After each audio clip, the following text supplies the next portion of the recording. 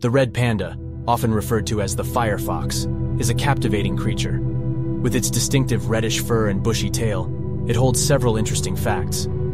It is the only species in its own taxonomic family, Ailuridae. Red pandas have an extended wrist bone that acts as a thumb, aiding their dexterity. Furthermore, their diet primarily consists of bamboo, and they have a pseudo thumb that helps them grip the stems with ease.